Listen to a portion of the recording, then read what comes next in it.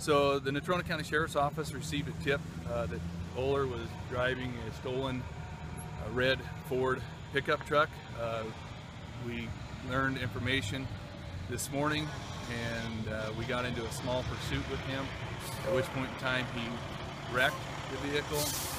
Um, he was taken into custody a short time later. He fled from, on foot, and at which point in time uh, we used a canine with the Casper Police Department, and they were able to apprehend him.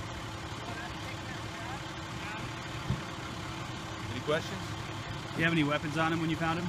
And that I don't know at this time. Okay.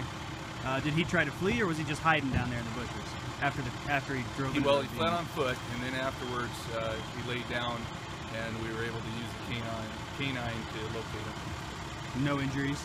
Uh, at this point in time, I can't, I don't know that answer. Okay. What'll he be charged with at this point? Well, and, and I'll, I'll let you know that later today. I don't know all the charges at this time, what he'll be charged with. Was anyone else with him? He was, he was by himself at this point. He was going off in the vehicle. You said the, the vehicle might have been stolen. Uh, that was confirmed stolen. We learned that he was driving the stolen vehicle, at which point in time uh, we located the vehicle and uh, a small pursuit ensued, at which point in time he wrecked the vehicle and uh, fled on foot. Do you know whereabouts he wrecked, or is that something you're still looking No, into? it's right in this area right here. Okay. Somebody- uh, Collins Street, This is 13th. 13. Witness said his truck's down in the ravine. Is that about the size of it? That would be about the size of it. Alright, so he wrecked near 13th and was taken into custody. Near shortly 13th and. Sycamore is where he wrecked.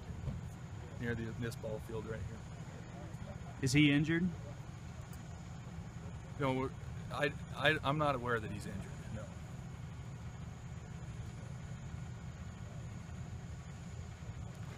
So the treatment they're giving him is just standard after that kind of thing. Make sure that he's okay. Treating So- to make sure that there's no, no issues with him. Is he wet? Was he in the water down there? And I'm not going to answer that question.